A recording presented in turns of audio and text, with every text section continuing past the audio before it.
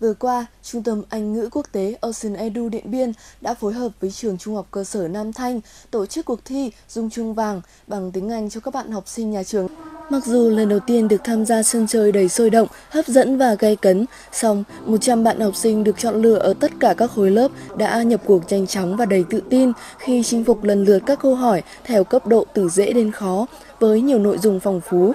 Trong vòng 15 giây sau khi thầy cô giáo đọc xong câu hỏi, các thí sinh phải nhanh chóng đưa ra đáp án của mình bằng cách viết câu trả lời vào bảng và dơ cao. Bạn nào trả lời sai sẽ phải rời khỏi sàn thi đấu. Cuộc thi bắt đầu gay cấn khi những câu hỏi khó, đòi hỏi khả năng về ngữ pháp và vốn từ đã xuất hiện.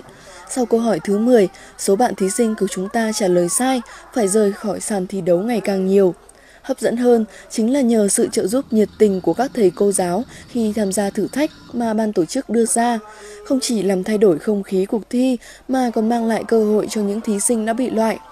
Với sự nỗ lực hết mình của các thầy cô trong phần thi này, đã mang lại cơ hội trở lại sàn thi đấu cho 100% các thí sinh.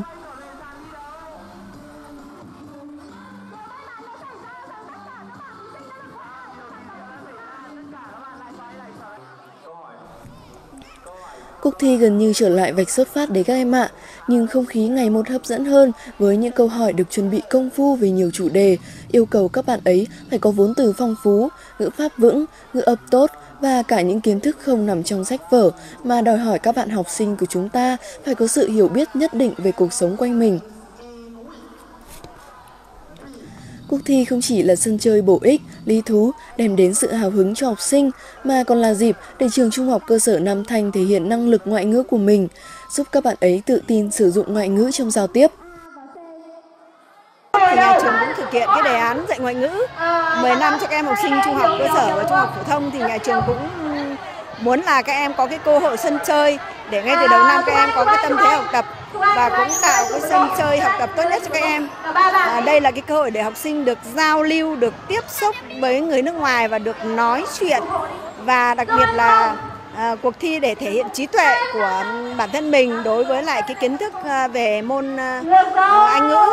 Nhằm thực hiện có hiệu quả đề án dạy và học ngoại ngữ trong hệ thống giáo dục, những năm qua, công tác dạy và học tiếng Anh được ngành giáo dục, đào tạo tỉnh ta đặc biệt quan tâm, nhất là việc đầu tư trang thiết bị, đổi mới phương pháp dạy học. Trong đó, việc dạy và học tiếng Anh có yếu tố người nước ngoài được xem như là một luồng gió mới giúp học sinh và cả giáo viên hăng say với môn học này.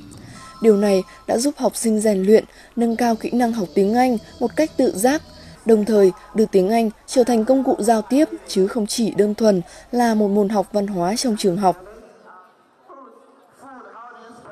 Thì à, trong thời gian tới thì Ocean Edu Điện Biên kết hợp với các nhà trường thứ nhất là cũng đã thông qua phòng à, giáo dục là cũng xin phép là sẽ tổ chức cái chương trình dung chương vàng nó mang tính chất là liên trường và sẽ có một cái cuộc thi chung kết và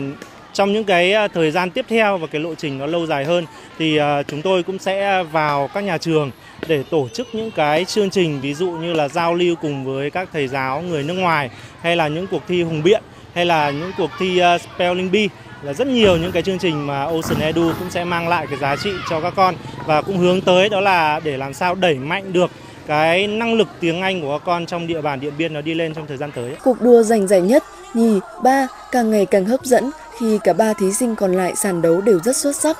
Kết thúc cuộc thi, bạn Phạm Lê Thục Anh, lớp 8A2 đã giành quán quân dung chuông vàng. Bạn Đặng Trung Hiếu, lớp 8A2 đạt giải nhì và bạn Vũ Đại Tấn Sang, lớp 6A3 đạt giải ba.